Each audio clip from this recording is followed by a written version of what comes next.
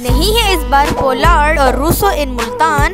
नहीं है इस बार पोलार्ड और रूसो इन मुल्तान। तो अब ज़िम्मेदारी है सारी ऑन रिजवान। तो वही पिछले दो तीन सालों के मुकाबले में इस साल मुल्तान की टीम काफ़ी ज़्यादा कमज़ोर है।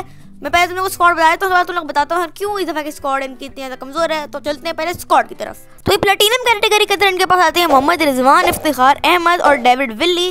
फिर डायमंड कैटेगरी में इनके पास आते हैं उसामा मीर, खुशदिल शाह और डेविड मलान। गोल्ड में आते हैं अब्बास अफरीदी, रिजा हेंड्रिक्स, फिर रीका, अबे कैसे कैसे नाम है? Reece Topley. हाँ जो भी है, जानते होगा तुम लोग, शायद ना मैं तो नहीं जानता।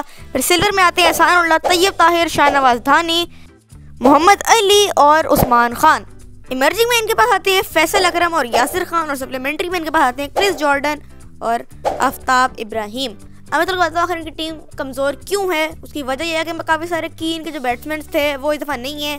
जैसे कि शान मसूद जो इनिंग को संभालते थे, रिजवान के साथ मिल के रिजवान अगर कभी जल्दी आउट हो जाता तो वो भी इनिंग को संभालते थे, लेकिन इस वो नहीं संभाल सकते। इसके अलावा मिडिल ऑर्डर के अंदर, Pollard, Rilee Rossouw, Tim David, ये तीनों के तीनों ऐसे बैट्समैन थे, जिन, जो भाई तीनों मिल के जो ना रिजवान, वो सॉरी मुल्तान की बैकबोन की तरह थे, लेकिन ये तीनों ही दफ़ा नहीं है। इनकी जगह इफ्तार अहमद है, जिनसे उम्मीदें हैं, और सर खुशदिल शाह भी हैं, लेकिन फिर भी वो तीन जो इनके पास की प्लेयर्स है वो इस दफ़ा नहीं है तो इनकी टीम थोड़ी बहुत कमज़ोर है। लेकिन फिर भी मेरे ख्याल से सेमीफाइनल तक पहुँच जाएगी जो इनकी टीम अच्छी तो है। और तुम लोग बताओ, तुम लोगों को क्या लगता है अपना ओपिनियन मुझे कमेंट में जाकर ज़रूर बताना।